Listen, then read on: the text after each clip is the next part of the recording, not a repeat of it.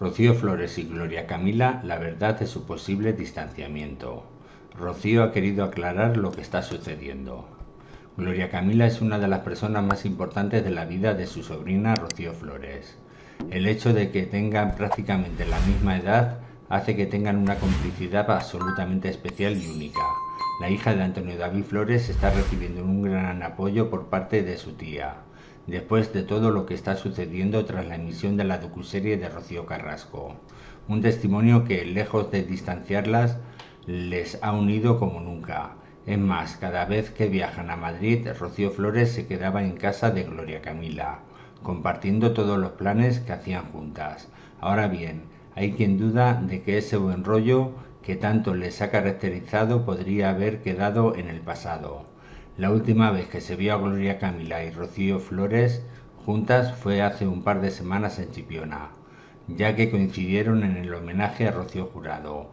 Por aquel entonces parecía que no ocurría nada entre ellas, pero lo que sí ha llamado la atención entre sus seguidores es que ya no se les ve tan juntas como antes. Después de todos estos rumores, Rocío Flores ha querido aclarar todo ante las cámaras de los compañeros de Europa Press con un rostro en el que mostraba lo extrañada que estaba ante esa afirmación. Ha dejado claro el motivo por el que no se ve tanto con su tía como lo hacía antes. Ella está todo el día trabajando. Yo llego a Madrid y también tengo un montón de cosas. De ahí a que haya un distanciamiento no hay ninguno, expresó Rocío Flores. De esta manera tan contundente zanjaba cualquier tipo de rumor entre un posible distanciamiento con Gloria Camila. Deja claro una vez más que su unión es mucho más fuerte que cualquier cosa. Lo que es un hecho es que la hija de Antonio David Flores quiera centrarse en sus compromisos profesionales, dejando atrás todo lo que tenga que ver con el ámbito personal.